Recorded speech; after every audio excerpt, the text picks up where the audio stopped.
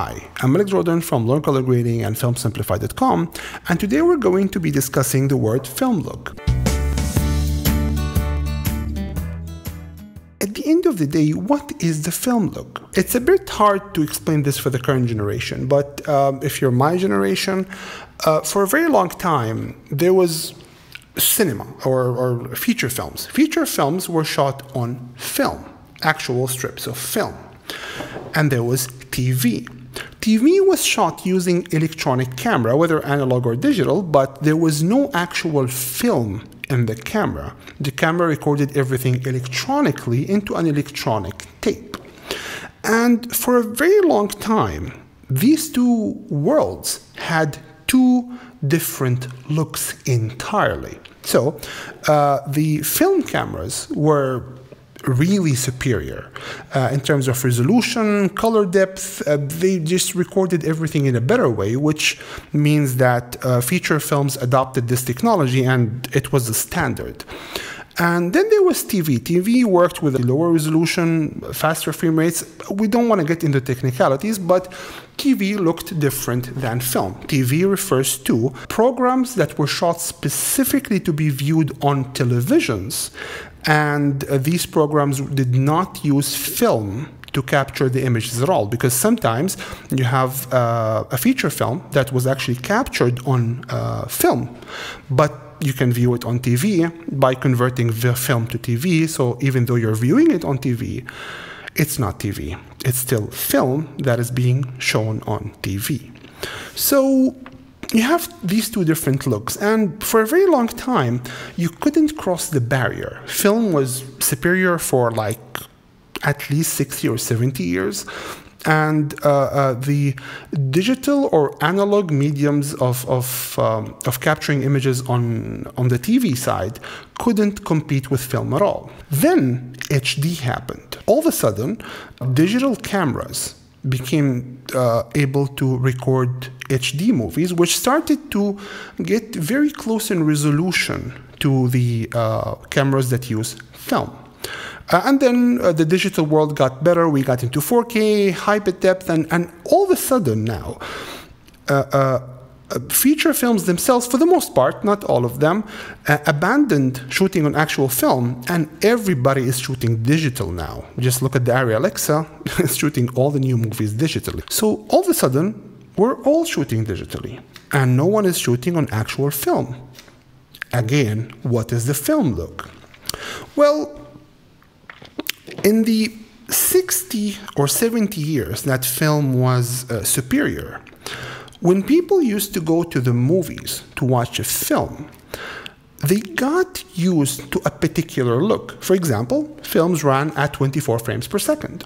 So naturally, we all got used to this particular look being high end because remember, the movies other than filming in 24 frames per second, uh, had very high production quality. And our brains, over a long period of time, associated the very high production quality with this particular frame rate. So 24 frames, uh, the picture seems a bit choppy for a lot of people, but we like this look. We grew to get used to it and love it over time. So film look for the more initially meant uh, shooting 24 frames per second. I remember when we first got our digital camera that actually shot in 24 frames per second, we were a bit excited. I was very excited actually. So, however, still, what does the film look mean?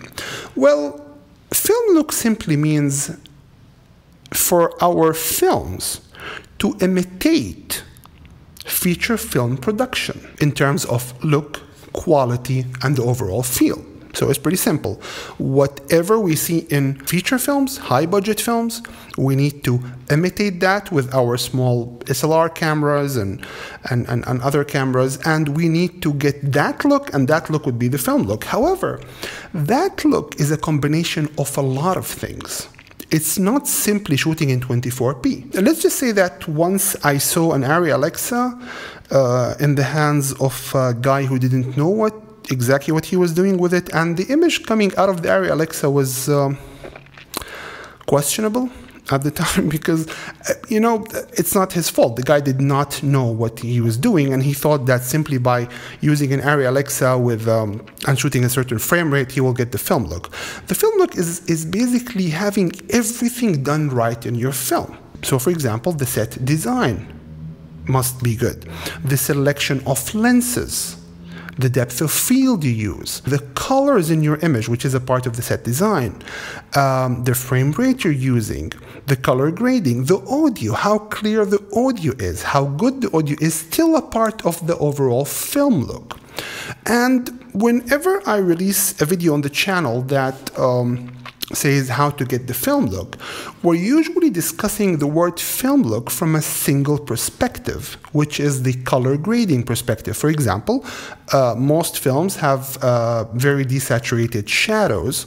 So as a result, we always advocate for desaturating your shadows here. However, that is only discussing the word film look from the perspective of color grading only. So let's take a look at feature films. You have a lot of different looks for feature films. For example, a comedy film will have different colors, different uh, gradings, different lenses, different depth of field to a horror film, for example, who will have that will have different criteria entirely. Uh, it will be darker, much shallower depth of field, um, with different uh, locations, set designs. It will be entirely different with much muted colors in the set design. And the wardrobe will be different. So the question here becomes what is the film look? If films don't have a look, every genre has a different uh, um, a look entirely. I would argue here to say that film look is not a certain look, is not a certain LUT, is not a certain thing you do to your image. It's two things. The image must be good in every single way. For example, the right lenses that will uh, complement the story you're telling, uh, the right objects in the frame. Sometimes uh, one of the biggest mistakes I see filmmakers do uh, is to have objects in the frame that do not complement the uh, story at all. There is no need for this object to be in this frame at this particular point in time that is there. And it usually takes away from how good the film looks because your brain processes every part of the image. The wardrobe, the set design, the acting, uh, all done right. So you have to do everything right visually. And then you have to do everything right in audio. So recording audio very clearly, mixing audio the right way. So doing all this, then conforming it to one of the looks that we usually see in, uh, uh, in feature film production. That would be the film look. So it's basically doing everything right and then making the final image look like one of the genres we're used to. Because if you think about it, film look is just what we're used to. It's just we like this look because we saw our favorite actors um, you know our best stories ever like when you see the godfather for example um, you get drawn to that look because the story just is unbelievable and it just the acting everything just just drags you to that look and whenever you see that look again your brain associates it with, with being very high quality. I, I love this look. So basically, film look is the look that we got used to over 100 years of feature films. I hope you like this. If you like it, please visit us uh, at filmsimplified.com where you can join our free Resolve crash course. Uh, it's a crash course that is designed for the absolute beginner and can get you started through every tab in Resolve. Thank you. Filmsimplified.com